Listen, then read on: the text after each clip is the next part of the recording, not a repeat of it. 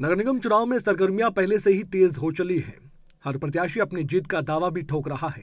लेकिन इन सब के बीच नगर पालिका जाखल मंडी वार्ड नंबर तीन की बात करें तो यहाँ से मोनिका गोयल एक अलग ही प्रत्याशी के तौर पर उभर कर सामने आई मोनिका गोयल अनिल गोयल की पत्नी है।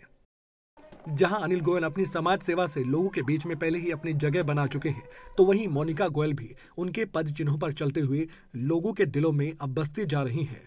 आपको बता दें कि मोनिका गोयल ने वार्ड नंबर तीन की सभी समस्याओं को देखा और उनका समाधान करने का लोगों से वायदा भी किया। मोनिका गोयल मेहनती हैं, समाजसेवी हैं पढ़ी लिखी ईमानदार छवि इनकी है। और आने वाले 16 दिसंबर को नगर पालिका जाखल मंडी वार्ड नंबर तीन में मोनिका गोयल अपनी सुनिश्चित जीत मानती है, क्योंकि उनका कहना यह भी है कि लोग उन्हें भरपूर समर्थन दे रहे हैं। और उनका चुनाव चिन्ह उगता सूरज, जो वाकई में उनके लिए और उनके वार्ड वासियों के लिए एक नया सूरज लेके आएगा।